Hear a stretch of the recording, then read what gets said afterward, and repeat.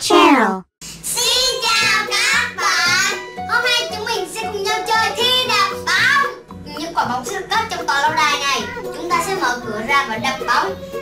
Ai đập được nhiều bóng nhất, Người đó sẽ là người chiến thắng. Và chúng ta sẽ đập bóng bằng tâm Và chúng ta sẽ bịt mắt bằng khăn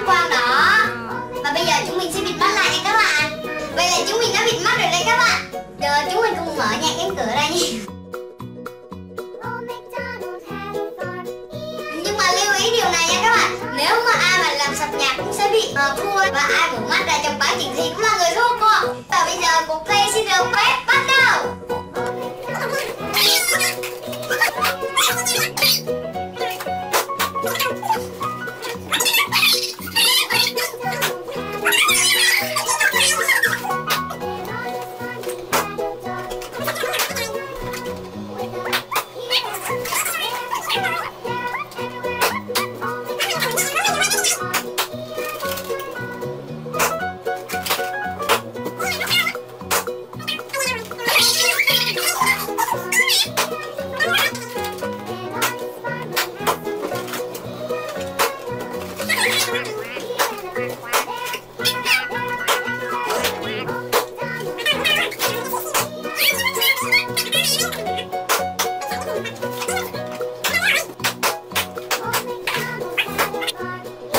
vậy là chúng mình đã đập xong hết tất cả cái bóng này rồi. Vậy là sau lần thi này và người trong cuộc đó chính là bạn Mai Hương.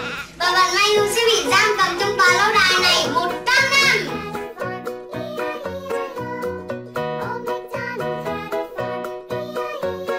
Như vậy là Mai Hương sẽ bị giam cầm trên này 100 năm.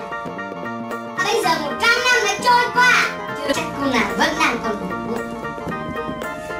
Không thấy động tĩnh gì cả? Còn mấy giây nữa là hết 100 năm. 10